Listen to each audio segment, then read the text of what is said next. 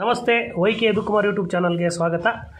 ಇವತ್ತಿನ ಈ ವಿಡಿಯೋದಲ್ಲಿ ಡಿಸ್ಕಷನ್ ಮಾಡೋಕ್ಕೆ ಹೊರಟಿರ್ತಕ್ಕಂಥ ಅತಿ ಪ್ರಮುಖ ವಿಚಾರ ನಿಮಗೆಲ್ಲ ಗೊತ್ತು. ಇವತ್ತು ಕೇಸ್ಲೆಟ್ ಎರಡು ಸಾವಿರದ ಇಪ್ಪತ್ತೊಂದರ ಪರೀಕ್ಷೆ ನಡೆದಿದೆ. ಅದಕ್ಕೆ ಸಂಬಂಧಪಟ್ಟಿರ್ತಕ್ಕಂಥ ಜನರಲ್ ಪೇಪರ್ನ ಮೆಂಟಲ್ ಎಬಿಲಿಟಿ ಸುಮಾರು ಹತ್ತು ಕ್ವಶನ್ಗಳಿದ್ದಾವೆ ಆ ಕ್ವಶನ್ಸ್ಗಳನ್ನ ಹೇಗೆ ಸಾಲ್ವ್ ಮಾಡೋದು, ಉತ್ತರ ಯಾವುದು ಅಂತಕ್ಕಂಥ ವಿಚಾರ ನಾನು ಇವತ್ತು ವಿಡಿಯೋ ಮಾಡ್ತಾ ಇದ್ದೀನಿ.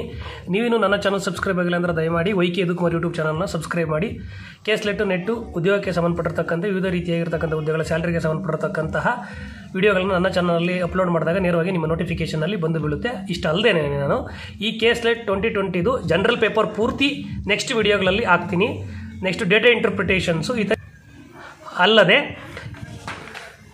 ಕೇಸ್ಲೆಟ್ಗೆ ಸಂಬಂಧಪಟ್ಟಂತೆ ಇತರೆ ಒಂದಷ್ಟು ವಿಡಿಯೋಗಳು, ಯಾವುದು ಜನರಲ್ ಪೇಪರ್ ಇರ್ಬೋದು, ಅದರಲ್ಲಿ ಹತ್ತು ಪಾರ್ಟ್ ಏನಿದಾವೆ, ಈಗ ಒಂದು ಪಾರ್ಟ್ಗೆ ಸಂಬಂಧಪಟ್ಟಂಗೆ ನಾವು ಮೆಂಟಲ್ ಎಬಿಲಿಟಿ ಮಾಡಾಕ್ತಾ ಇದ್ದೀವಿ.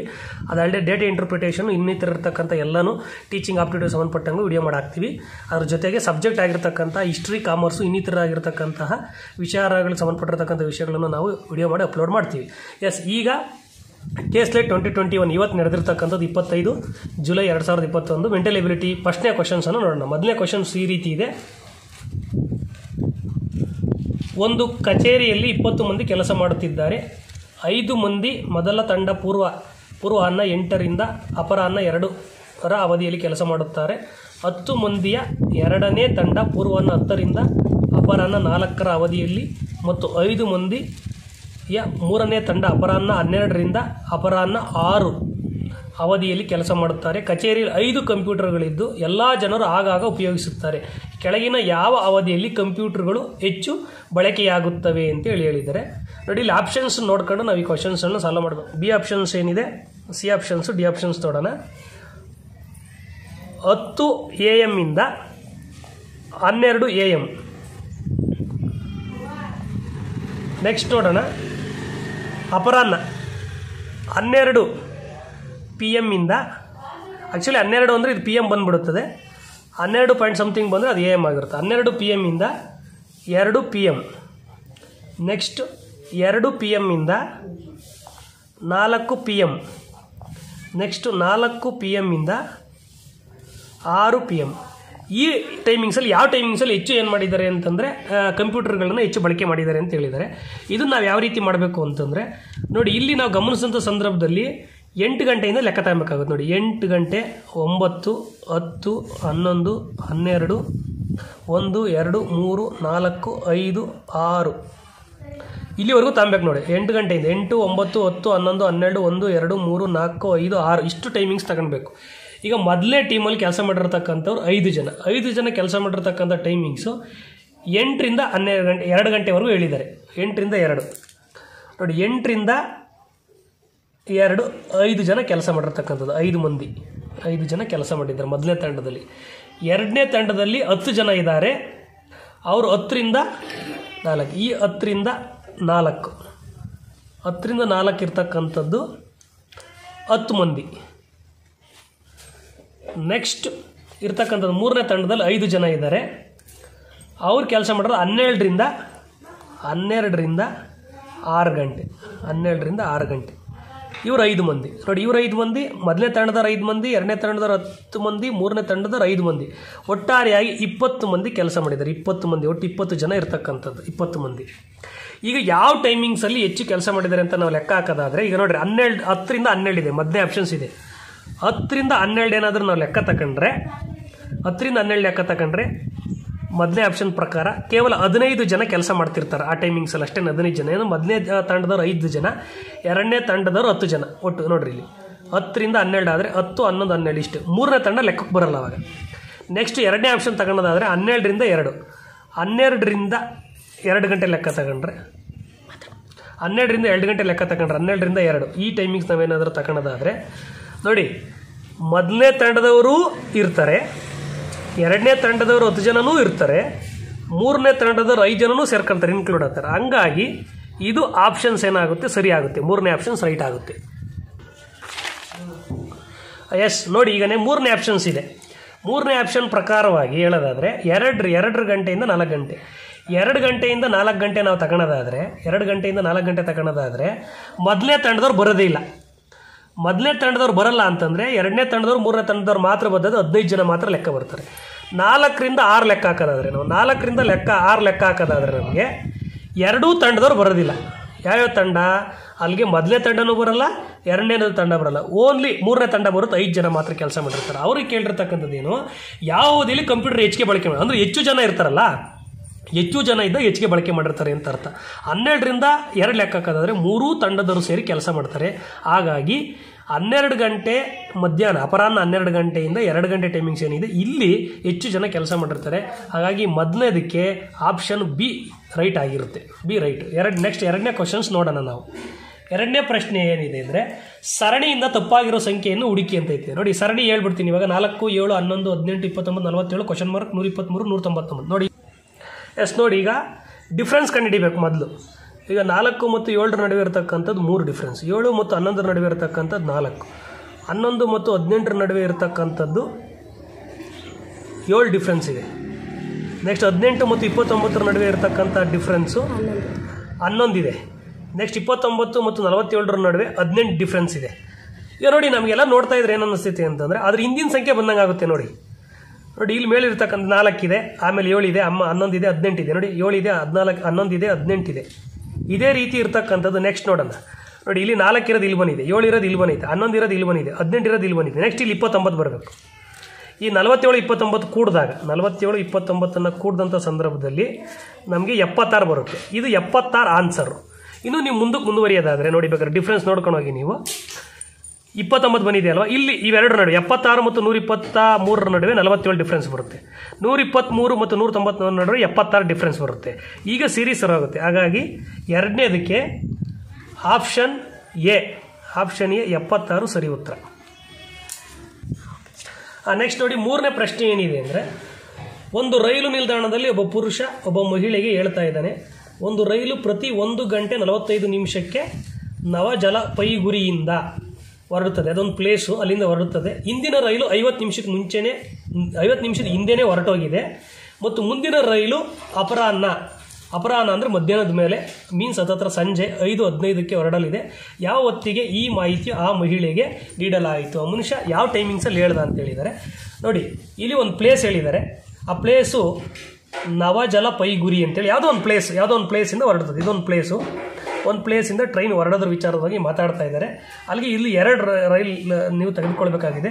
ಒಂದು ರೈಲು ಆಲ್ರೆಡಿ ಹೋಗಿರುವಂತಹ ರೈಲು, ಹೋಗಿರುವ ರೈಲು. ನೆಕ್ಸ್ಟ್ ಮುಂದೆ ಹೋಗಬಹುದಾಗಿರ್ತಕ್ಕಂಥ ರೈಲು. ಮುಂದೆ ಹೋಗಬಹುದಾಗಿರ್ತಕ್ಕಂಥ ರೈಲು. ಮುಂದೆ ಹೋಗಬಹುದಾಗಿರ್ತಕ್ಕಂಥ ರೈಲಿನ ಟೈಮಿಂಗ್ಸ್ ಹೇಳಿದ್ದಾರೆ ಐದು ಗಂಟೆ ಹದಿನೈದು ನಿಮಿಷಕ್ಕೆ ಹೋಗುತ್ತೆ ರೈಲು ಅಂತ ಹೇಳಿದ್ದಾರೆ. ಈಗ ಹೋಗುತ್ತೆ. ಒಂದು ರೈಲು ಮತ್ತು ಇನ್ನೊಂದು ರೈಲುಗಳ ನಡೆದಿರ್ತಕ್ಕಂಥ ವ್ಯತ್ಯಾಸ ಟೈಮಿಂಗ್ಸ್ ಹೇಳಿದ್ದಾರೆ ಇಲ್ಲಿ. ಪ್ರತಿ ರೈಲು ಒಂದು ಗಂಟೆ ನಲವತ್ತೈದು ನಿಮಿಷಕ್ಕೆ ಹೊರಡುತ್ತೆ ಅಂದರೆ ಒಂದು ರೈಲು ಇನ್ನೊಂದು ರೈಲು ಹೊರಡಬೇಕು ಅಂತಂದರೆ ಒಂದು ಗಂಟೆ ನಲವತ್ತೈದು ನಿಮಿಷ ವೇರಿಯೇಷನ್ಸ್ ಇರ್ತದೆ. ಅಷ್ಟು ಅಂತರ ಇರ್ತದೆ ಟೈಮಿಂಗ್ಸ್ ಅಂತರ ಅಷ್ಟು ಇರ್ತದೆ ಅಂತ ಅದರ ಅರ್ಥ. ಒಂದು ಗಂಟೆ ನಲವತ್ತೈದು ನಿಮಿಷ ಆದಮೇಲೆ ಒಂದು ರೈಲು ಹೋಗುತ್ತೆ. ಮತ್ತು ಒಂದು ಗಂಟೆ ನಲವತ್ತೈದು ನಿಮಿಷ ಆದಮೇಲೆ ಮತ್ತೊಂದು ರೈಲು ಹೋಗುತ್ತೆ ಅಂತ ಅರ್ಥ ಹೇಳಿದ್ದಾರೆ. ನೋಡಿ ಐದು ಗಂಟೆ ಹದಿನೈದು ನಿಮಿಷ ಅಂತ ಹೇಳಿದ್ದಾರೆ. ಅಂದರೆ ಹಿಂದೆಗಡೆ ಹೋಗಿರ್ತಕ್ಕಂಥ ರೈಲು ಆಲ್ರೆಡಿ ಹೋಗಿದೆಯಲ್ಲ, ಆ ರೈಲು ಯಾವ ಟೈಮಿಂಗ್ಸಲ್ಲಿ ಹೋಗಿದೆ ಅನ್ನೋದು ನಾವು ಲೆಕ್ಕ ಹಾಕೋದಾದರೆ, ಐದು ಗಂಟೆ ಹದಿನೈದು ನಿಮಿಷದಲ್ಲಿ ಒಂದು ಗಂಟೆ ನಲವತ್ತೈದು ನಿಮಿಷನ ಕಳೆದ್ರೆ ನಮಗೆ ಸಿಗ್ತಕ್ಕಂಥದ್ದು ಮೂರು ಮೂವತ್ತು ಟೈಮಿಂಗ್ ಸಿಗ್ತದೆ ನಮಗೆ. ನೆಕ್ಸ್ಟು ಇಲ್ಲಿಗೆ ಏನಾಗುತ್ತೆ ಅವಾಗ? ಹಿಂದಕ್ಕೆ ಹೋದರೆ ನಾವು? ಅಂದರೆ ಐದು ಗಂಟೆ ಹದಿನೈದು ನಿಮಿಷಕ್ಕೆ ಹಿಂದೆ ನಾವು ಒಂದು ಗಂಟೆ ನಲವತ್ತೈದು ನಿಮಿಷ ಹಿಂದಕ್ಕೆ ಹೋದಂಥ ಸಂದರ್ಭದಲ್ಲಿ ಮೂರು ಗಂಟೆ ಮೂವತ್ತು ನಿಮಿಷ ಆಗಿರುತ್ತೆ. ಅಂದರೆ ಫಸ್ಟ್ ಹೋಗಿದೆ ಅಂತ ಟ್ರೈನ್ ಹೇಳ್ತಿದ್ರಲ್ಲ, ಅದು ಮೂರು ಗಂಟೆ ಮೂವತ್ತು ನಿಮಿಷದ ಟೈಮಿಂಗ್ಸಲ್ಲಿ ಹೋಗಿರ್ತಕ್ಕಂಥದ್ದು. ಈ ಎರಡೂ ಟೈಮಿಂಗ್ಸ್ನ ನಡುವೆ ಇವರು ಮಾತಾಡಿದ್ದಾರೆ. ಮಾತಾಡಿದರೆ ಅನ್ನೋದಕ್ಕೆ ಒಂದು ಪ್ರೂಫ್ ಏನು ಹೇಳಿದ್ದಾರೆ? ಐವತ್ತು ನಿಮಿಷಕ್ಕೆ ಮುಂಚೆ ಏನಾಗಿದೆ ಅಂದರೆ ಒಂದು ಟ್ರೈನ್ ಹೋಗಿದೆ ಅಂತ ಹೇಳಿದ್ದಾರೆ. ಅಂದರೆ ಐವತ್ತು ನಿಮಿಷ ನಾವು ಆ್ಯಡ್ ಮಾಡಬೇಕು. ಐವತ್ತು ನಿಮಿಷ ಆ್ಯಡ್ ಮಾಡಿದ್ರೆ ನಾಲ್ಕು ಗಂಟೆ ಇಪ್ಪತ್ತು ನಿಮಿಷ, ನಾಲ್ಕು ಗಂಟೆ ಇಪ್ಪತ್ತು ನಿಮಿಷ ಟೈಮಿಂಗ್ಸಲ್ಲಿ ಇವರಿಬ್ಬರು ಮಾತಾಡಿದ್ದಾರೆ. ಹಾಗಾದರೆ ಉತ್ತರ ಮೂರನೇ ಪ್ರಶ್ನೆಗೆ ಉತ್ತರ ಬಂದು ಬಿ ಆಪ್ಷನ್ ಆಪ್ಷನ್ ಬಿ ನಾಲ್ಕು ಗಂಟೆ ಇಪ್ಪತ್ತು ನಿಮಿಷ ಏನಿದೆ? ಇದು ಉತ್ತರ ಆಗಿರುತ್ತೆ. ಮೂರನೇ ಪ್ರಶ್ನೆ.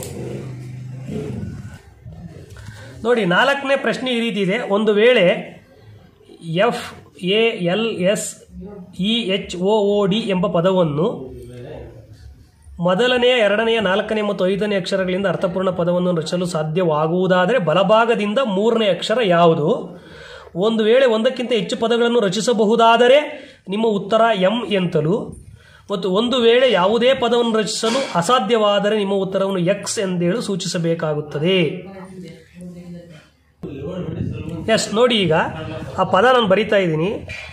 ಎಫ್, ಎ ಈಗ ನೋಡಿ, ಇದಕ್ಕೆ ನಂಬರ್ ಕೊಟ್ಕೊಳ್ಳೋಣ. ಒಂದು, ಎರಡು, ಮೂರು, ನಾಲ್ಕು, ಐದು, ಆರು, ಏಳು, ಎಂಟು ಒಂಬತ್ತಿದ್ದಾವೆ ಇದರಲ್ಲಿ ಯಾವ್ಯಾವ ತಗೋಬೇಕು ಅಂತ ಹೇಳಿದ್ದಾರೆ ಅಂದರೆ, ಒಂದನೇದು, ಎರಡನೇದು ನಾಲ್ಕನೇದು ಐದನೇ ಪದ ತಗೋಬೇಕು ಅಂತ ಹೇಳಿದರೆ.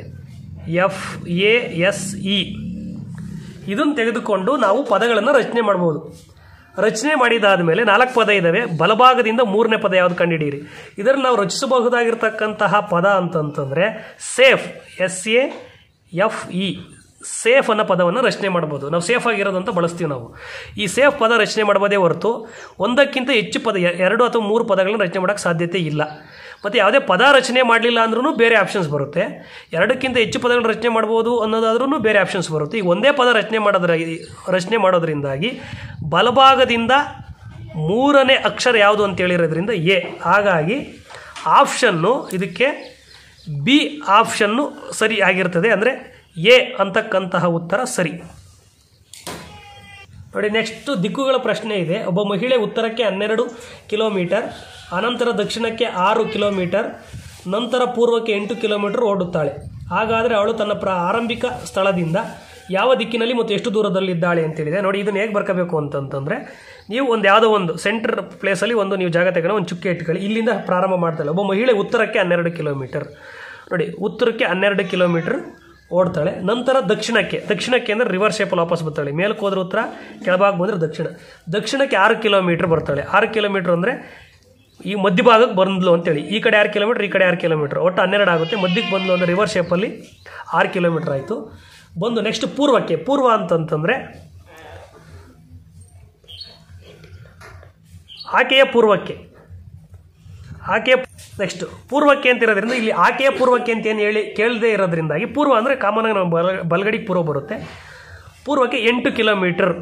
ಎಂಟು ಕಿಲೋಮೀಟ್ರ್ ಓಡ್ತಾಳೆ. ಹಾಗಾದರೆ ತನ್ನ ಆರಂಭಿಸಿದ ಸ್ಥಳ, ಇಲ್ಲಿ ಆರಂಭಿಸಿರ್ತಕ್ಕಂಥದ್ದು. ಇದನ್ನು ಎ ಅಂತ ಭಾವಿಸ್ಕೊಳ್ಳೋಣ ಇಲ್ಲಿ ಇರತಕ್ಕಂಥದ್ದು ಬಿ ಅಂತ ಭಾವಿಸ್ಕೊಳ್ಳೋಣ ಇದು ಸಿ ಅಂತ ಭಾವಿಸ್ಕೊಳ್ಳೋಣ ತನ್ನ ಆರಂಭಿಕ ಸ್ಥಳದಿಂದ ಎಷ್ಟು ದೂರದಲ್ಲಿದ್ದಾಳೆ ಮತ್ತು ಯಾವ ದಿಕ್ಕಿನಲ್ಲಿದ್ದಾಳೆ. ಇಲ್ಲಿಂದ ಯಾವ ದಿಕ್ಕಿನಲ್ಲಿ? ಇದು ಸಿ ಅಂತಕ್ಕಂಥದ್ದು ಯಾವ ದಿಕ್ಕಿನಲ್ಲಿ ಇದೆ ಅಂತಕ್ಕಂಥದ್ದು ಕಂಡುಹಿಡಿಬೇಕಾಗ್ತದೆ ಮತ್ತು ಇಲ್ಲಿಂದ ಇಲ್ಲಿಗೆ ನಾವು ಕಂಡುಹಿಡಬೇಕು ಇದನ್ನು ಪೊಯರ ಪೈಥಾಗೊರಸ್ ಥಿಯರಿ ಆಧಾರದ ಮೇಲೆ ನಾವು ಮಾಡಬೇಕಾಗುತ್ತೆ. ಈ ಪ್ರಕಾರ ಮಾಡೋದಾದರೆ ನೋಡಿ, ಇಲ್ಲಿ ಎರಡು ಮಾಡ್ಕೋಬೇಕು. ಇಲ್ಲಿಂದ ಇಲ್ಲಿಗೆ ಎಷ್ಟು ದೂರ ಇದೆ? ಇಲ್ಲಿಂದ ಎಷ್ಟು ದೂರ ಇದೆ? ಅದ್ರ ಸ್ಕ್ವೇರ್ ಮಾಡ್ಕೊಂಡು ಆ್ಯಡ್ ಮಾಡಿಬಿಟ್ಟು ನಾವು ಸ್ಕ್ವೇರ್ ರೂಟನ್ನು ಕಂಡುಹಿಡಬೇಕಾಗುತ್ತೆ ಈಗ A C ಕಂಡುಹಿಡಬೇಕಾಗಿರೋದ್ರಿಂದ A C is equal to A B square plus B C square ಅಂತೇಳಿ ಹಾಕ್ಕೊಳ್ಬೇಕಾಗ್ತದೆ ನಿಮಗೆಲ್ಲ ಗೊತ್ತಿರುತ್ತೆ. ಎ ಬಿ ಅಂದರೆ ಆರ್ ಇದೆ. ಸ್ಕ್ವಯರ್ ಪ್ಲಸ್ ಇದೆ. ಬಿ ಸಿ ಅಂತಂದರೆ ಎಂಟಿದೆ ಎಂಟು ಸ್ಕ್ವಯರ್ ನೆಕ್ಸ್ಟ್ ಆರು ಸ್ಕ್ವಯರ್ ಅಂದರೆ ಆರಲ್ಲ ಮೂವತ್ತಾರು ಪ್ಲಸ್ ಎಂಟು ಸ್ಕ್ವೇರ್ ಅಂದರೆ ಎಂಟೆಂಟ್ಲ ಅರವತ್ನಾಲ್ಕು. ಎರಡನ್ನು ಆ್ಯಡ್ ಮಾಡಿದ್ರೆ ನೂರಾಗುತ್ತೆ ಇದರ ಮೂಲ ನೂರರ ವರ್ಗಮೂಲ ಬಂದು ಹತ್ತು. ಹಂಗಾರೆ ಹತ್ತು ಕಿಲೋಮೀಟರ್ ಹೋ ದೂರದಲ್ಲಿದ್ದಾಳೆ. ಆರಂಭಿಕ ಸ್ಥಳದಿಂದ ಈಗಿರ್ತಕ್ಕಂಥದ್ದು ಹತ್ತು ಕಿಲೋಮೀಟ್ರು. ಮತ್ತು ಎ ಅನ್ ಸಿ ಅನ್ನೋದು ಎಗೆ ಈಶಾನ್ಯ ದಿಕ್ಕಿನಲ್ಲಿ ಬರ್ತದೆ. ಈಶಾನ್ಯ. ಇಲ್ಲಿ ಹೇಳೋದಾದ್ರೆ, ಇದನ್ನು ಈಗ ಲೆಕ್ಕ ತಕೊಂಡು ಹೇಳೋದಾದ್ರೆ ನಾವು, ಇದು ಈಶಾನ್ಯ. ಈಶಾನ್ಯಕ್ಕಿದ್ದಾಳೆ. ಇದ್ರ ಪ್ರಕಾರ ಹೇಳೋದಾದರೆ option C option is right ಹತ್ತು ಕಿಲೋಮೀಟರ್ ದೂರದಲ್ಲಿದ್ದಾಳೆ ಮತ್ತು ಈಶಾನ್ಯ ದಿಕ್ಕಿನಲ್ಲಿದ್ದಾಳೆ. ನೆಕ್ಸ್ಟ್ ನೋಡಿ, ಹನ್ನೊಂದನೇ ಪ್ರಶ್ನೆ ಇದೆ ಡಬ್ಲ್ಯೂ ಸೀರೀಸಲ್ಲಿ ನೆಕ್ಸ್ಟು ಮಧ್ಯದಲ್ಲಿ ಐದು ಕ್ವಶನ್ಸ್ ಬೇರೆ ಇಟ್ಟಿದ್ದಾರೆ. ಹನ್ನೊಂದನೇ ಕ್ವಶನ್ಸ್ ಇದೆ. ಒಂದು ನಿರ್ದಿಷ್ಟ ಸಂಕೇತದ ಭಾಷೆಯಲ್ಲಿ shoot S H double O ಟಿಯನ್ನು ಇಪ್ಪತ್ತೊಂದು, ಹತ್ತು, ಹದಿನೇಳು ಹದಿನೇಳು, ಇಪ್ಪತ್ತೆರಡು ಎಂದು ಸಂಕೇತಿಸಿದರೆ T E L L Y ಎಂಬುದನ್ನು ಅದೇ ಸಂಕೇತದಿಂದ ಹೇಗೆ ಸಂಕೇತಿಸಬಹುದು ಅಂತಿದೆ. ನೋಡಿ ಮೊದಲನೇ ಬರ್ಕೊಳ್ಳೋಣ S H O O T ಶೂಟನ್ನು ಅವರೇನು ಹೇಳಿದರೆ? ಇಪ್ಪತ್ತೊಂದು, ಹತ್ತು, ಹದಿನೇಳು ಹದಿನೇಳು, ಇಪ್ಪತ್ತೆರಡು. ನೋಡಿ ಆಯಾ ಸಂಕೇತ ಇದು. ಓ ಅಂದರೆ ಹದಿನೇಳು ಹದಿನೇಳು ಅಂತೇಳಿ ಅರ್ಥ. ಟಿ ಅಂತಂದರೆ ಇಪ್ಪತ್ತೆರಡು ಅಂತ ಎಸ್ ಅಂದರೆ ಇಪ್ಪತ್ತೊಂದು ಎಚ್ ಅಂದರೆ ಹತ್ತು ಅಂತೇಳಿ ಅರ್ಥ ಅಂತ ಬರ್ಕೋಬೇಕು. ಅದೇ ರೀತಿ ಇದೇ ಪ್ರಕಾರ ಹೇಳೋದಾದರೆ T E L L Y T L L ವೈನ ನಾವು ಯಾವ ರೀತಿ ಏನು ಮಾಡ್ಬೋದು ಸಂಕೇತಿಸಬಹುದು ಅಂತೇಳಿ ಹೇಳಿದ್ದಾರೆ. ಎಸ್ ನೋಡೋಣ ಇಲ್ಲಿ. ಇದನ್ನು ನಾವು ನೀವು ಲೆಕ್ಕ ಮಾಡ್ಕೋಬೇಕಂದ್ರೆ ಎ ಇಂದ ಝಡ್ವರೆಗೆ ಲೆಕ್ಕ ಕೊಟ್ಕೋಬೇಕು ಎ ಅಂದರೆ ಒಂದು ಬಿ ಅಂದರೆ ಎರಡು ಝಡ್ ಅಂದರೆ ಇಪ್ಪತ್ತಾರು. ಈ ರೀತಿ ನೀವು ಲೆಕ್ಕ ಕೊಟ್ಕೊಳ್ಬೇಕಾಗತ್ತೆ.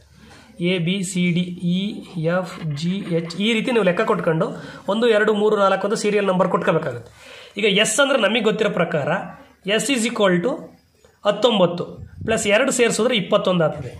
ಅದೇ ರೀತಿ ಎಚ್ ಅಂತಂದರೆ ಎಂಟು. ಎಂಟಕ್ಕೆ ಎರಡು ಕೂಡಿದ್ರೆ ಹತ್ತು ಆಗ್ತದೆ. ಇದೇ ರೀತಿ ಎರಡೆರಡು ಎರಡೆರಡು ಏನು ಮೂಲ ಇದೆ ಎ ಬಿ ಸಿ ಡಿ ಪ್ರಕಾರ ಎಯಿಂದ ವರ್ಗ ಏನು ಸಂಖ್ಯೆ ಕೊಡ್ಕೊಂತೀವಿ ನೀವು? ಅದಕ್ಕೆ ಎರಡೆರಡು ಎರಡು ಆ್ಯಡ್ ಮಾಡ್ಕೊಂಡು ಹೋಗ್ತಾ ಇರೋದು. ಈಗ ಎ ಅಂತ ಇಟ್ಕೊಳ್ಳಿ. ಒಂದಿದ್ರೆ ಪ್ಲಸ್ ಎರಡು ಆ್ಯಡ್ ಮಾಡಿದ್ರೆ ಮೂರು ಆಗುತ್ತೆ. ಹಂಗೆ ಇದೇ ರೀತಿ ಆ್ಯಡ್ ಮಾಡ್ಕೊಂಡು ಹೋದ್ರೆ ಇಲ್ಲಿ ಸಿಗುತ್ತೆ. ಓ ಅಂತಂದರೆ ಇರ್ತಕ್ಕಂಥದ್ದು ಅಲ್ಲಿಗೆ ಹದಿನೈದು. ಹದಿನೈದಕ್ಕೆ ಎರಡು ಆ್ಯಡ್ ಮಾಡಿದ್ರೆ ಹದಿನೇಳು. ಓ, ಅದೇ ರೀತಿ ಟಿ ಅಂತಂದರೆ ಇಪ್ಪತ್ತು. ಅದಕ್ಕೆ ಎರಡು ಆ್ಯಡ್ ಮಾಡಿದ್ರೆ ಇಪ್ಪತ್ತೆರಡು. ಅದೇ ರೀತಿಯಲ್ಲಿ ಇಲ್ಲಿ ನೋಡೋಣ ನಾನು. ಫಸ್ಟ್ ಯಾವ ರೀತಿ ಮಾಡ್ಕೊಳ್ಬೇಕು ಅನ್ನೋದು ನೋಡೋಣ. ಟಿ ಅಂದರೆ ನಿಮಗೆಲ್ಲ ಗೊತ್ತಿದೆ. ಆಲ್ರೆಡಿ ಇಲ್ಲಿ ಇಪ್ಪತ್ತಿದೆ. ಇಪ್ಪತ್ತು ಮೂಲ ಟಿ ಅಂತಂದರೆ ಇ ಅಂದರೆ ಐದು. ಎಲ್ ಅಂತಂದರೆ ಎಲ್ ಅಂತಂದರೆ ಹನ್ನೆರಡು, ಮತ್ತು ಎಲ್ ಅಂದರೆ ಹನ್ನೆರಡು, ವೈ ಅಂದರೆ ಇಪ್ಪತ್ತೈದು. ಇದು ಮೂಲ ಇರೋದು. ಇದಕ್ಕೆಲ್ಲ ನಾವೇನು ಮಾಡಬೇಕು? ಎರಡೆರಡು ಆ್ಯಡ್ ಮಾಡಬೇಕು. ನೋಡಿ, ಇದಕ್ಕೆಲ್ಲ ಪ್ರತಿಯೊಂದಕ್ಕೂ ಎರಡೆರಡು ಎರಡೆರಡು ಆ್ಯಡ್ ಮಾಡ್ತಾ ಹೋಗಬೇಕು. ಎಷ್ಟು ಬರುತ್ತೆ ಎರಡು? ಇಪ್ಪತ್ತಕ್ಕೆ ಎರಡು ಆ್ಯಡ್ ಮಾಡಿದ್ರೆ ಇಪ್ಪತ್ತೆರಡು. ಇದು ಐದು. ಐದಕ್ಕೆ ಎರಡು ಆ್ಯಡ್ ಮಾಡಿದ್ರೆ ಏಳು. ಹನ್ನೆರಡಕ್ಕೆ ಎರಡು ಎರಡು ಆ್ಯಡ್ ಮಾಡಿದ್ರೆ ಹದಿನಾಲ್ಕು. ಅದೇ ರೀತಿ ಹದಿನಾಲ್ಕು. ಇಪ್ಪತ್ತೈದಕ್ಕೆ ಎರಡು ಆ್ಯಡ್ ಮಾಡಿದ್ರೆ ಅಲ್ಲಿಗೆ ಇಪ್ಪತ್ತ ಏಳು ಇದು ಯಾವ ಆಪ್ಷನ್ಸ್ ಅಲ್ಲ ಐತೆ ನೋಡಬೇಕು. ಇಪ್ಪತ್ತೆರಡು, ಏಳು, ಹದಿನಾಲ್ಕು ಹದಿನಾಲ್ಕು, ಇಪ್ಪತ್ತೇಳು. ಇರ್ತಕ್ಕಂಥದ್ದು ಡಿ ಹಾಗಾಗಿ ಆಪ್ಷನ್ ಡಿ ರೈಟ್ ಆಗಿರುತ್ತೆ ಸರಿಯಾದಾಗಿರ್ತಕ್ಕಂಥ ಉತ್ತರ. ನೆಕ್ಸ್ಟ್ ಹನ್ನೆರಡನೇ ಪ್ರಶ್ನೆ ಈ ರೀತಿ ಇದೆ. ಒಂದು ಬುಟ್ಟಿಯಲ್ಲಿ ಇರಿಸಲಾಗಿರೋ ಹೂಗಳು ಪ್ರತಿ ನಿಮಿಷಕ್ಕೆ ದ್ವಿಗುಣಗೊಳ್ಳುತ್ತದೆ. ಒಂದು ವೇಳೆ ಆ ಬುಟ್ಟಿಯು ಮೂವತ್ತು ನಿಮಿಷದ ಒಳಗೆ ಹೂಗಳಿಂದ ತುಂಬಿಕೊಂಡರೆ ಎಷ್ಟು ನಿಮಿಷಗಳಲ್ಲಿ ಬುಟ್ಟಿಯು ಕಾಲು ಭಾಗ ಹೂಗಳಿಂದ ತುಂಬಿಕೊಳ್ಳುತ್ತದೆ. ಬುಟ್ಟಿಯು ಕಾಲು ಭಾಗ ಹೂಗಳಿಂದ ತುಂಬಿದು ತುಂಬಿಕೊಳ್ಳುತ್ತದೆ ಅಂತ ಹೇಳಿದ್ದಾರೆ. ಇದನ್ನು ನಾವು ಒಂದು ಅಂದಾಜು ಮೇಲೆ ಮಾಡ್ತಾ ಇದ್ದೀವಿ. ಇದು ಬಹುಶಃ ಸರಿ ಇರ್ತದೆ ಅಂತೇಳಿ ನಾವು ಭಾವಿಸಿದ್ದೀವಿ. ಎಸ್ ನೋಡೋಣ. ಈಗ ಒಂದು ಬುಟ್ಟಿ ಮೂವತ್ತು ನಿಮಿಷದೊಳಗಡೆ ತುಂಬಿಕೊಳ್ತೈತೆ ಅಂತ ಅನ್ನೋದಾದರೆ, ಕಾಲು ಭಾಗ ತುಂಬಿಕೊಳ್ಳೋದಕ್ಕೆ, ಕಾಲು ಭಾಗ ಹೂಗಳಿಂದ ತುಂಬಿಕೊಳ್ತಕ್ಕಂಥದ್ದು ಎಷ್ಟು ನಿಮಿಷದಲ್ಲಿ ಕಾಲು ಭಾಗ ತುಂಬಿಕೊಳ್ತದೆ ಅನ್ನೋದಾದರೆ, ನೋಡಿ, ಈಗ ನಾವು ಇದ್ರ ಪ್ರಕಾರ ಮಾಡಿದ್ದೀವಿ. ನಾಲ್ಕೊಂದ್ಲ ನಾಲ್ಕು, ಮೂವತ್ತೊಂದ್ಲ ಮೂವತ್ತು ಅಲ್ಲಿಗೆ ಎರಡರಿಂದ. ಎರಡು, ಎರಡ್ಲ, ಎರಡು ಹದಿನೈದ್ಲ. ಇದಿದೆ ನೋಡಿ ಆಪ್ಷನ್ಸಲ್ಲಿ ಎ ಆಪ್ಷನ್ಸ್ ಇದೆ. ಎ ಆಪ್ಷನ್ಸ್ ಪ್ರಕಾರವಾಗಿ ಹದಿನೈದು ಬೈ ಎರಡು. ಈ ಹದಿನೈದು ಬೈ ಎರಡು ನಿಮಿಷಗಳಲ್ಲಿ ತುಂಬಿಕೊಳ್ಳುತ್ತದೆ. ಕಾಲು ಅದಕ್ಕೆ ಎಷ್ಟು ಸಮಯ ಬೇಕಾಗ್ತದೆ ಅಂತಂದರೆ ಹದಿನೈದು ಬೈ ಎರಡು. ನೆಕ್ಸ್ಟ್ ನೋಡಿ, ಹದಿಮೂರನೇ ಪ್ರಶ್ನೆ ಈ ರೀತಿ ಇದೆ. ಈ ಕೆಳಗಿನ ವೆನ್ ರೇಖಾಚಿತ್ರವನ್ನು ಅಧ್ಯಯನ ಮಾಡಿ, ಮತ್ತು ವಿದ್ಯಾವಂತರಾದ ಮತ್ತು ಉದ್ಯೋಗಸ್ಥರಾದ, ಆದರೆ ದೃಢೀಕರಿಸದ ವ್ಯಕ್ತಿಗಳನ್ನು ಪ್ರತಿನಿಧಿಸುವ ವಲಯಗಳನ್ನು ಕಂಡುಹಿಡಿಯಿರಿ ಅಂತ ಇದೆ ವೆರಿ ಸಿಂಪಲ್ ಇದು. ನೋಡಿ, ಎರಡು ವೃತ್ತ ಕೊಟ್ಟು ಅದು ಒಂದಕ್ಕೊಂದು ಸ್ವಲ್ಪ ಛೇದಿಸಂಗೆ ಮಾಡಿ ನೆಕ್ಸ್ಟ್ ಒಂದು ತ್ರಿಭುಜವನ್ನು ಕೊಟ್ಟಿದ್ದಾರೆ. ಇದರಲ್ಲಿ ಈ ತ್ರಿಭುಜ ಬರಬಾರ್ದು. ಅಂದರೆ ನೋಡಿ, ವಿದ್ಯಾವಂತ ಉದ್ಯೋಗಸ್ಥ, ವಿದ್ಯಾವಂತರು ಇರಬೇಕು, ಉದ್ಯೋಗಸ್ಥರು ಇರಬೇಕು, ಇವೆರಡನ್ನು ಪ್ರತಿನಿಧಿಸಬೇಕು. ಆದರೆ ಆದರೆ ದೃಢೀಕರಿಸದವರು ಇದು ಪ್ರತಿನಿಧಿಸಂಗಿಲ್ಲ. ಅಂದರೆ ತ್ರಿಭುಜದಲ್ಲಿ ಬರ್ತಕ್ಕಂಥ ಬರಂಗಿಲ್ಲ. ತ್ರಿಭುಜದಲ್ಲಿ ಬರದೇ ಇರ್ತ, ಬರತಕ್ಕಂಥವು ಅಂದರೆ ಇ ಮತ್ತು ಎಫ್ ಇವೆರಡು ಬರಂಗಿಲ್ಲ. ಉಳಿದಿರ್ತಕ್ಕಂತಹ ವಿದ್ಯಾವಂತರು ಮತ್ತು ಉದ್ಯೋಗಸ್ಥ.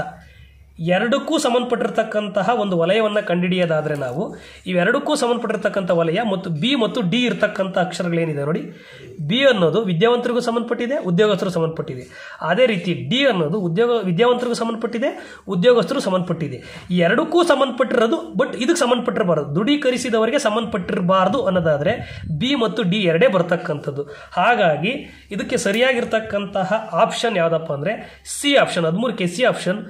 ಬಿ ಮತ್ತು ಡಿ ಇರ್ತಕ್ಕಂಥದ್ದು. ಇದು ಸರಿಯಾಗಿರ್ತಕ್ಕಂಥ ಆಪ್ಷನ್ ಸರಿಯಾದ ಉತ್ತರ.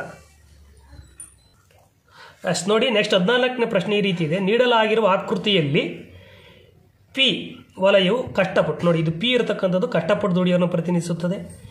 ಕ್ಯೂ ವಲಯವು ಬುದ್ಧಿವಂತ ಜನರನ್ನು ಪ್ರತಿನಿಧಿಸುತ್ತದೆ.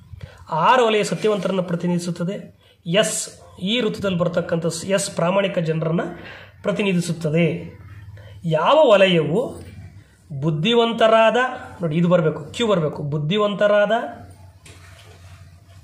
ಪ್ರಾಮಾಣಿಕರಾದ, ಪ್ರಾಮಾಣಿಕರಂದ್ರೆ ಎಸ್ ಬರಬೇಕು. ಪ್ರಾಮಾಣಿಕರಾದ ಮತ್ತು ಸತ್ಯವಂತರಾದ. ಸತ್ಯವಂತರು ಅಂದರೆ ಆರ್ ಬರಬೇಕು. ನೋಡಿ, ಕ್ಯೂ ಋತುದಲ್ಲಿ ಇರ್ತಕ್ಕಂಥವ್ರು ಎಸ್ ಋತುದಲ್ಲಿ ಇರ್ತಕ್ಕಂಥವ್ರು ಆ ಋತುದಲ್ಲಿ ಇರ್ತಕ್ಕಂಥವ್ರು ಬರಬೇಕು. ಅಂದರೆ ಬುದ್ಧಿವಂತರಾದ, ಪ್ರಾಮಾಣಿಕರಾದ, ಸತ್ಯವಂತರಾದ, ಆದರೆ ಕಷ್ಟಪಟ್ಟು ದುಡಿಯದ ಜನ, ಇವರು ದುಡಿತಕ್ಕಂಥವ್ರು. ಈ ದು, ಇದು ಬರೋಂಗಿಲ್ಲ ಪಿ ಬರೋಂಗಿಲ್ಲ ಪಿ ಇಲ್ಲಿಗೆ ಬರೋಂಗಿಲ್ಲ. ಉಳಿದಿದ್ದು ಕ್ಯೂ ಎಸ್ ಆರ್ ಈ ಕ್ಯೂ ಪಿನಲ್ಲಿ ಬರೋಂಗಿಲ್ಲ ಅಂತಂದರೆ ಹತ್ತು ಬರೋಂಗಿಲ್ಲ, ಹನ್ನೊಂದು, ಒಂಬತ್ತು, ಎಂಟು, ಏಳು ಇವ್ಯಾವು ಬರೋಂಗಿಲ್ಲ ನೋಡಿ. ಈ ಕಡೆಯಿಂದ ಈ ಕಡೆ ಇರ್ತಕ್ಕಂಥವು ಯಾವು ಬರೋಂಗಿಲ್ಲ. ಇವು ಯಾವ ಬರ್ದಂಗೆ ಈ ಮೂರಲ್ಲೂ ಇರತಕ್ಕಂತಹ ಒಂದು ಸಂಖ್ಯೆ ಮೂರಕ್ಕೂ ಸಂಬಂಧಪಟ್ಟಿರ್ತಕ್ಕಂಥದ್ದು ಆ ಸಂಖ್ಯೆ ಯಾವುದು ಅಂದರೆ ಆರು ನೋಡಿ ಆರ್ ಅನ್ನೋದು ಕ್ಯೂಗೂ ಸಂಬಂಧಪಟ್ಟೈತೆ ಈ ಆರ್ ಅಂತಕ್ಕಂಥದ್ದು ಎಸ್ಗೂ ಸಂಬಂಧಪಟ್ಟೈತೆ ಈ ಆರ್ ಅಂತಕ್ಕಂಥದ್ದು ಸತ್ಯವಂತರಿಗೂ ಸಂಬಂಧಪಟ್ಟೈತೆ ಆದರೆ ಕಷ್ಟಪಟ್ಟು ದುಡಿಯುವ ಜನರ ವರ್ಗದ ಅಡಿಯಲ್ಲಿ ಬರಲ್ಲ. ಹಾಗಾಗಿ ಹದಿನಾಲ್ಕನೇ ಪ್ರಶ್ನೆಗೆ ಆಪ್ಷನ್ ಎ ಆರು, ಈ ಮೂರನ್ನು ಕ್ಯೂ ಅನ್ನು ಎಸ್ ಅನ್ನು ಆರನ್ನು ಬುದ್ಧಿವಂತ, ಪ್ರಾಮಾಣಿಕ, ಸತ್ಯವಂತರನ್ನು ಪ್ರತಿನಿಧಿಸತಕ್ಕಂಥ ಸಂಖ್ಯೆ ಆರು ಆಗಿರೋದ್ರಿಂದ ಆಪ್ಷನ್ ಎ ಸರಿಯಾದ ಉತ್ತರ. ನಮಸ್ತೆ. ಈಗ ಹದಿನೈದನೇ ಪ್ರಶ್ನೆ ಈ ರೀತಿ ಇದೆ. ಒಂದು ವೇಳೆ, ಹದಿನೈದನೇ ಪ್ರಶ್ನೆ. ಒಂದು ವೇಳೆ ಕೆಂಪು ಎಂಬುದು ಗಾಳಿ ಎಂದು ಗಾಳಿಯನ್ನು ಕಪ್ಪು ಎಂದು ಕಪ್ಪನ್ನು ಆಕಾಶ ಎಂದು, ಆಕಾಶವನ್ನು ನೀಲಿ ಎಂದು ಕರೆದರೆ, ನೀಲಿಯನ್ನು ಮಾರುತ ಎಂದು ಕರೆದರೆ, ಮಾರುತವನ್ನು ಬಿಳಿ ಎಂದು ಕರೆದರೆ ಆಕಾಶದ ಬಣ್ಣ ಯಾವುದು? ನೋಡಿ, ಇದು ಈ ರೀತಿ ಬರ್ಕೋಬೇಕಾಗುತ್ತೆ. ಕೆಂಪು ಇದೆ. ಈ ಕೆಂಪನ್ನು ಗಾಳಿ ಅಂತ ಬರ್ಕೋಬೇಕು. ಗಾಳಿಯನ್ನು ಕಪ್ಪು ಅಂತ ಬರ್ಕೋಬೇಕು. ಕಪ್ಪನ್ನು ಆಕಾಶ ಅಂತ ಬರ್ಕೋಬೇಕು. ಈ ಆಕಾಶವನ್ನು ಆಕಾಶವನ್ನು ನೀಲಿ ಅಂತ ಬರ್ಕೊಬೇಕು. ನೀಲಿಯನ್ನು ಮಾರುತ ಅಂತ ಬರ್ಕೊಳ್ಬೇಕು. ಮಾರುತವನ್ನು ಬಿಳಿ ಎಂದು ಕರೆದರೆ ಅಂತ ಇದೆ. ಇಷ್ಟಿಂದ ನೋಡಿ. ಇಲ್ಲಿಂದ ಇಲ್ಲಿಗೆ ಪ್ರಾರಂಭ ಆಗಿ ಇಲ್ಲಿಗೆ ಎಂಡ್ ಆಗ್ಬಿಟ್ಟಿದೆ. ಕೆಂಪನ್ನು ಗಾಳಿ, ಗಾಳಿಯನ್ನು ಕಪ್ಪು, ಕಪ್ಪನ್ನು ಆಕಾಶ, ಆಕಾಶವನ್ನು ನೀಲಿ, ನೀಲಿಯನ್ನು ಮಾರುತ, ಮಾರುತವನ್ನು ಬಿಳಿ ಎಂದು ಕರೆದರೆ ಇಲ್ಲಿ ಕೇಳಿರ್ತಕ್ಕಂಥದ್ದು, ಹಾಗಾದ್ರೆ ಆಕಾಶದ ಬಣ್ಣ ಯಾವುದು? ಆಕಾಶದ ಬಣ್ಣ ಯಾವುದು ಅಂತ ಹೇಳಿದ್ದಾರೆ ಇಲ್ಲಿ. ಆಕಾಶದ ಬಣ್ಣ ಯಾವುದು ಅಂತ ಹೇಳಿ ನಾವು ಹೇಳೋದಾದರೆ ಇಲ್ಲೇನಾಗುತ್ತೆ? ಇದು ನೋಡಿ ಆಕಾಶ. ಆಕಾಶವನ್ನು ಇವರು ನೀಲಿ ಅಂತ ಕರೀತಾವ್ರೆ. ಇದು ನೀಲಿ ತೆಗೆದುಕೊಳ್ಬೇಕಾ? ಕಪ್ಪು ತೆಗೆದುಕೊಳ್ಬೇಕಾ ಅನ್ನೋದು ನಮಗೆ ಡೌಟ್ ಇರೋದ್ರಿಂದಾಗಿ ಇದಕ್ಕೆ ನಾವು ಆಪ್ಷನ್ಸನ್ನು ಸಿ ಅಥವಾ ಬಿ ಎರಡು ಆಪ್ಷನ್ ಸರಿ ಅಂತೇಳಿ ಅನಿಸ್ತಾ ಇದೆ. ಇದರಲ್ಲಿ ಎರಡು ಕನ್ಫ್ಯೂಷನ್ ಇರೋದ್ರಿಂದ ಅಥವಾ ಸಿ ರೈಟ್ ಇರಬೇಕು ಇಲ್ಲ ಬಿ ರೈಟ್ ಇರಬೇಕು. ನೋಡಿ, ಆಕಾಶ ಅನ್ನೋದನ್ನು ನಾವು ನೀಲಿ ಅಂತ ಕರೆಯೋದಾದರೆ ಹಂಗಾದ್ರೆ ಆಕಾಶದ ಬಣ್ಣ ಯಾವುದು? ನೀಲಿ ಆಗುತ್ತೆ. ಕಪ್ಪನ್ನು ನಾವು ಆಕಾಶ ಅಂತ ಕರೆದಿರೋದ್ರಿಂದಾಗಿ ಇಲ್ಲೇನಾಗುತ್ತೆ? ಕಪ್ಪಾದರೂ ಆಗ್ಬೋದು. ಇದೆರಡರಲ್ಲಿ ಕನ್ಫ್ಯೂಷನ್ ಇರೋದು ಸಿ ಅಥವಾ ಬಿ ಉತ್ತರ ಆಗಿರುತ್ತೆ. ಇದರಲ್ಲಿ ಎರಡರ ಯಾವುದೋ ಒಂದು ಆಗಿರುತ್ತೆ. ಎಸ್, ಇಷ್ಟು K set twenty twenty twenty ಒನ್ನಲ್ಲಿ ಕೇಳಿರ್ತಕ್ಕಂಥ ಹತ್ತು ಮೆಂಟಲ್ ಎಬಿಲಿಟಿ ಪ್ರಶ್ನೆಗಳು, ಇಷ್ಟು ವರ್ಷದಲ್ಲಿ ಅತಿ ಹೆಚ್ಚು ಮೆಂಟಲ್ ಎಬಿಲಿಟಿ ಕೇಳಿರ್ತಕ್ಕಂಥದ್ದು, ಹತ್ತು ಪ್ರಶ್ನೆಗಳನ್ನು ಕೇಳಿರ್ತಕ್ಕಂಥದ್ದು ಇದೇ ವರ್ಷ. ಹಾಗಾಗಿ ಈ ವರ್ಷದ ವಿದ್ಯಾರ್ಥಿಗಳು ಪುಣ್ಯವಂತರ ಅಭ್ಯರ್ಥಿಗಳು ಬರೆದಿರ್ತಕ್ಕಂಥವ್ರು ಅಂತ ನಾನಂತೂ ಖಂಡಿತ ಭಾವಿಸ್ತೀನಿ. ಈ ವಿಡಿಯೋ ನಿಮಗೆ ಇಷ್ಟ ಆದ ಲೈಕ್ ಮಾಡಿ ಶೇರ್ ಮಾಡಿ ಕಮೆಂಟ್ ಮಾಡಿ. ಇನ್ನಷ್ಟು ವಿಡಿಯೋಗಳನ್ನು ನಾವು ಹಾಕಲಿದ್ದೇವೆ. ದಯಮಾಡಿ ಕಮೆಂಟ್ ಮಾಡಿ. ತಿಳಿಸಿ ಧನ್ಯವಾದಗಳು.